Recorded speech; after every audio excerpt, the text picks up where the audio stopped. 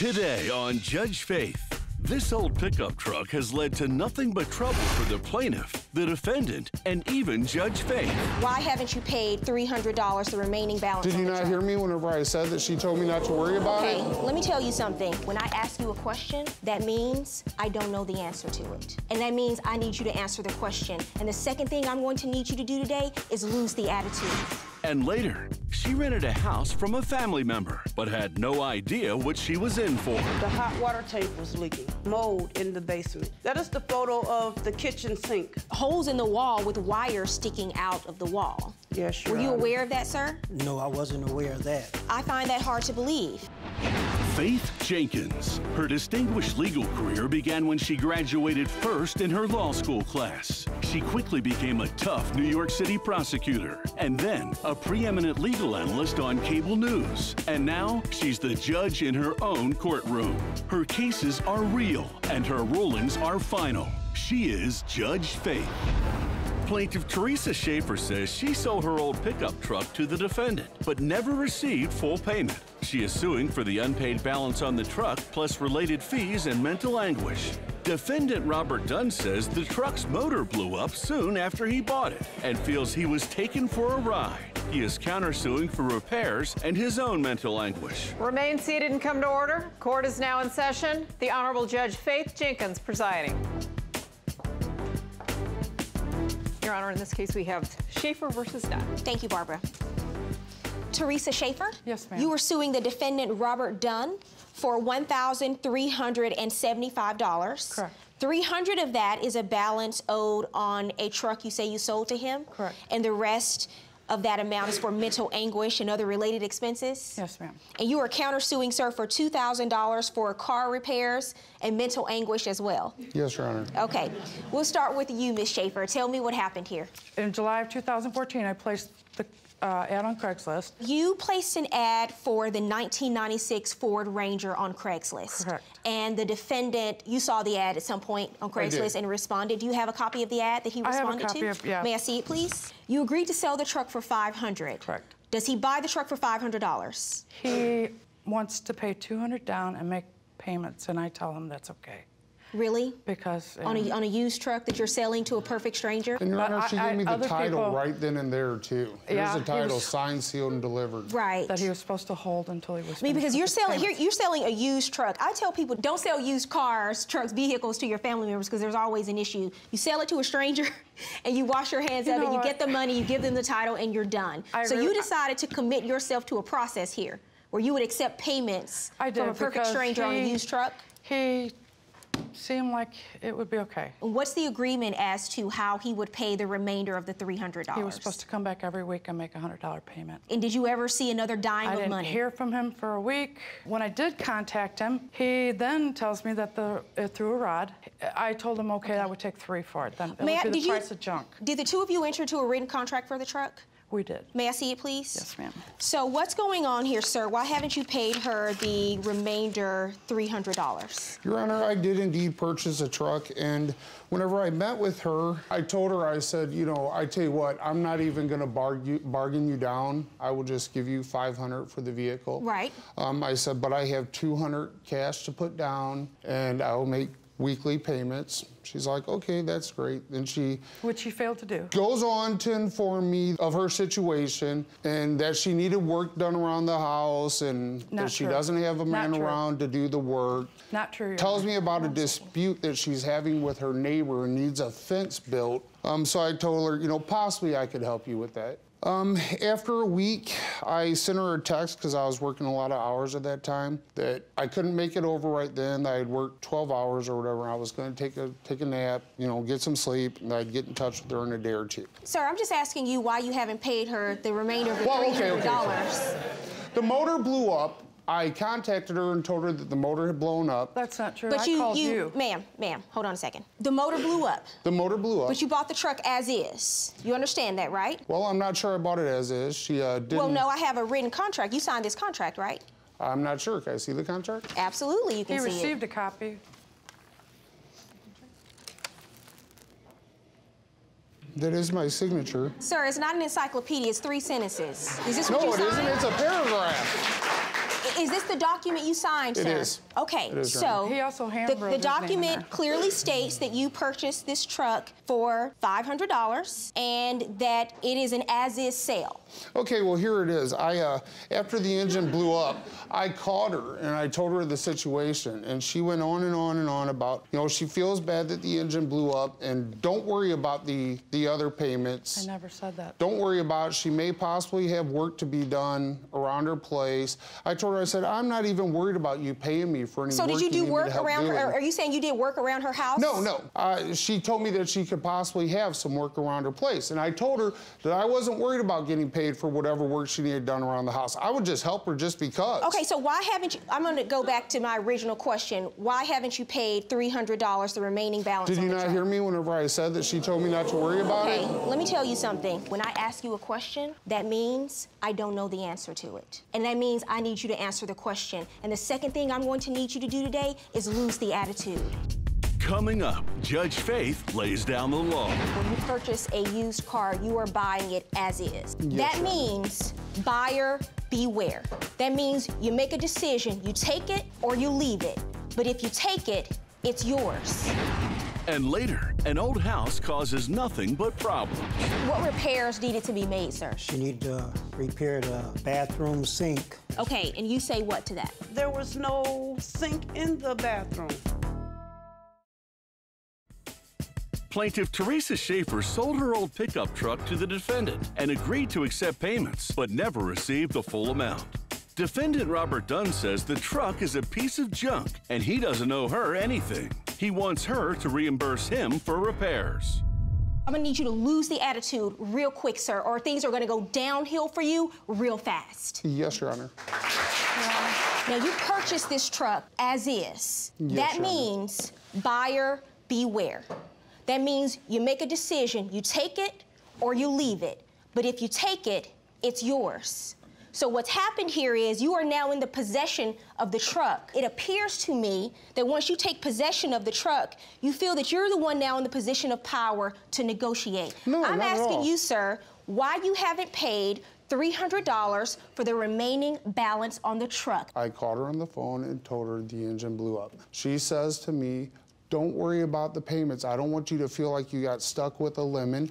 Don't worry about paying it off. Then she goes on to say, I may have some work around the house you can do. Do you have any proof of that? No, I do not. She Okay. mentioned it in our in our initial meeting, and then she mentioned it Okay, so again you have no proof on the of that. telephone. She So you have no proof of that, Your right? Honor, this lady has Besides set this testimony? up through the get-go. She's very conniving, and uh, So she set up selling you a $500 truck and only accepting $200 well, it's a and truck that she prob- could have probably only have gotten scrap prices if a fool like me hadn't showed up That's to why I the put a ad. I I put a tune-up on it because I was going to have it inspected. She puts in the ad, I hate to sell this truck, but can no longer afford it with the repairs. Right. I've had it for 10 years. Bearings and emissions issues. The seals were blown, but have flushed radiator and changed oil religiously. So she's noting all of these issues with the truck. It's a 1996 truck with $500. It has over 200,000 miles on it. Did you really think there would not be any issues Your with the Honor, I don't think that's the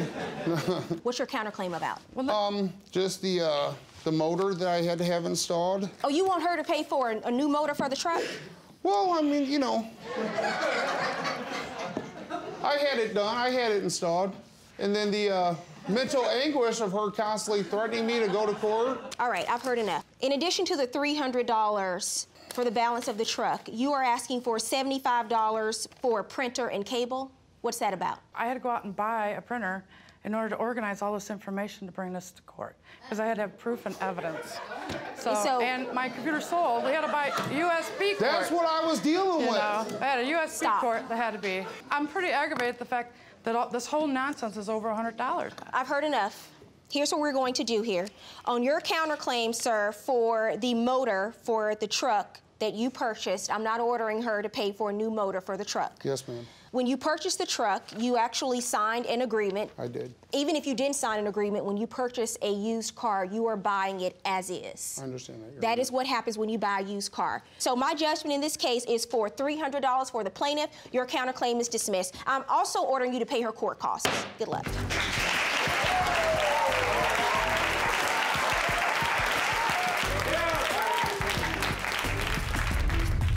Plaintiff Latoya Foster rented a home from a family member, but it was in such bad shape she was forced to move. She is suing for past rent money and moving expenses. Defendant Phil Ray says she was supposed to repair the problems in exchange for a deal on the rent and says if the plaintiff was unhappy with the home, she could have moved out at any time. Latoria Forster? Yes. You were suing the defendant Phil Ray for $7,650, the return of rent and related moving costs. That's correct. And sir, I understand that you are also representing the owner of the property at issue here today? Yes, ma'am. Okay, we'll start with you, Ms. Forrester. What's going on here? To start off with, um, Phil is a friend of the family for over 30 years, and at the time I needed a home to um, live in, What city are you, are you from? Saginaw, Michigan? Michigan. Okay. That's correct. I went to Mr. Ray, see if he can rent me the home, and he told me yes. Tell me about the house. How did you know about this house? Who does the house belong to? The house belongs to my aunt. She left Phil Ray um, In charge of taking Oh, care of it? Yes. Okay, and you've been renting the home out, Mr. Ray? Yes, ma'am. For how many years? Uh, about eight years, I believe, He agreed to rent me the home for 50 a month in the beginning. with the understanding that you would repair the house. Where were you living at the time? In an uncle's home, With who?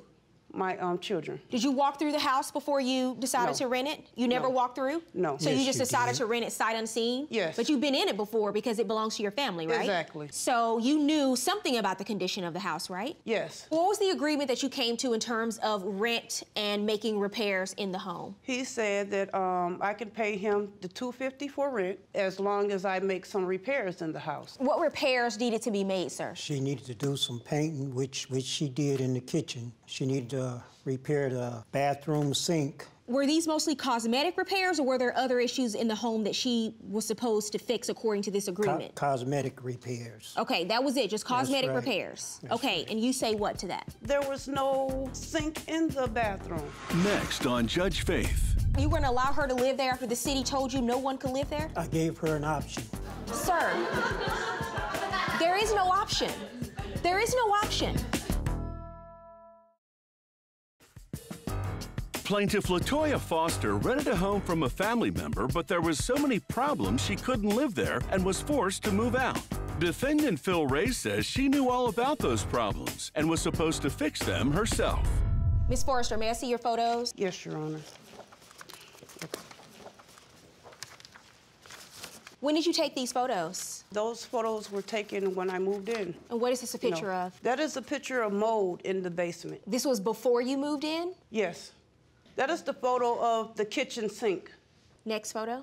That's the hole in the roof. Squirrels, whatever else. Were you aware, did you make Mr. Ray aware of the issues? He knew. You knew about the hole in the roof, sir? No, ma'am.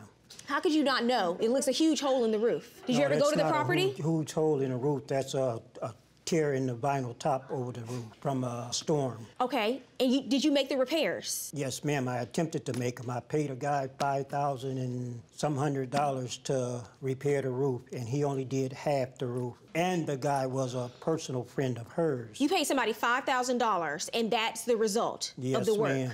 What is this a photo of? That's the kitchen counter. How long did you live in this home? Two years and about four months. And these were photos taken when you moved in? yes, some and what of- was the purpose of you taking these photos when you moved in? because I knew that this situation was going to come about.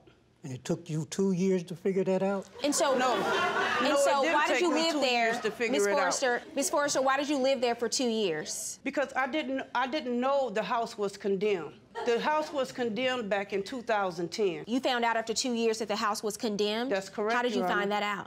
Um, I had the property inspected. I have evidence of that too, Your Honor. And why did you get the property inspected? What made you do that? because he wanted to go up on the rent to $500, and I said that I wasn't paying $500 for a house that wasn't, um, you know, livable. And I asked him, when are you going to make the repairs? And he said, in the summertime. I said, I can't live in here up until the summertime. What were the other issues? Was there issue with water, plumbing, heat, electricity? What were the issues in addition to what I'm seeing in the photos? The hot water tank was leaking. The furnace, I'm not sure what's going on with the furnace, the wiring, because he had somebody off the street put the um, furnace in. I didn't have nobody put the furnace in. Who put the furnace in? I lit the furnace for her twice, I Who believe. installed the furnace? The furnace was been there when I first took charge No, of it the wasn't. house. Yes, it was. No, it wasn't. So you never had a written lease, right? This was all an oral lease. Correct. And originally you said you were paying 250 because you're you were going to make the repairs to the home. I mean, the home needed, from the photos I'm looking at, it, it's in serious need of repair. You were aware of that, right? Yes, ma'am. Electrical sockets, holes in the wall with wires sticking out of the wall. Yes, Your Were you Honor. aware of that, sir? No, I wasn't aware of that. I find that hard to believe. Eh, well, I- You were going are- in, in and out of the home over the course of the two years she lived there and prior to that, right? Yes, ma'am. Okay. So I want to understand what happened. So you decided to call the city at some point because you say that the home is in such a state of disrepair, you want to get it inspected. Mm-hmm. What were you planning to do with the results of that inspection? Nothing really, just to see what was the outcome going to be. And then the city issued a report. Yes. And what did the report state about the home? It's condemned, and it has been condemned since 2010. Okay, may I see the report, please? Sure. And were you aware of that, Mr. Ray? No, ma'am. And is it your contention, ma'am, that he had been aware of this? Yes, How do you know that? a letter has been sent to him and to the um, owner, my aunt. So, according to the city, the home was inspected and there were a number of violations, sir, including structural violations, plumbing violations. The roof was in complete disrepair, issues with the water, and according to the city, you had been notified prior to when Ms. Forrester had this inspection done. I don't recall that. You understand, I'm looking at photos of, Yes, of this home. Mold, issues with the plumbing, electrical wires sticking out of the wall. All that was supposed to be taken care of Okay. by the tenant. No, no, this is where you're wrong and you don't understand your duties as a landlord. Okay. You cannot contractually place those responsibilities onto her. Those are your duties as a landlord. There's a housing code that applies, and there are minimum regulations you have to meet in order for you to lease property. You understand? Yes, ma'am. You didn't meet the minimum regulations, which is why the city said no one can live in this home until all of these violations are corrected because it's not safe. It's not her responsibility, it's yours. Let's get to your case and what you're suing for. You want every single dollar you paid for two years in rent from the defendant. Is that what you're asking for? Yes, Your Honor. You're also asking for U-Haul rental. What is that for? Um, I had to move all of a sudden. I can't, the city told me I can't live in a condemned home. And you also had to hire movers and you're suing for that. Correct. What is the $500 two months rent? What is that for? Um, he sent me a letter in the mail saying that either I can move or pay him $500 a month. Who? Mr. Ray. After the property had been condemned? Yes. You were going to allow her to live there after the city told you no one could live there? I gave her an option. Sir, there is no option. There is no option. And now, Judge Faith rules. Okay, so here's what we're going to do. Because you were in violation of city codes and you leased this home to the plaintiff in violation of city codes, and I find that I, I believe you knew that you were in violation, but you gave her the option from day one. I cannot order him to pay you two years of rent that you paid to him. But under the law, here's what I can do. I'm ordering you to pay her $13.50 that's three months of rent she had to pay for the new place that she's living in now. In addition, I'm ordering you to pay for her reasonable moving expenses. I find $150 is extremely reasonable, and that's what she's asking you for in terms of moving expenses. So my total judgment in this case is for the plaintiff in the amount of $1,500. Pay her the verdict.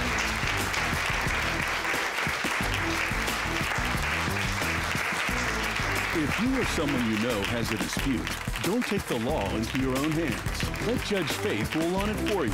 To submit your case, go to judgefaith.com and tell us your story. See you in court.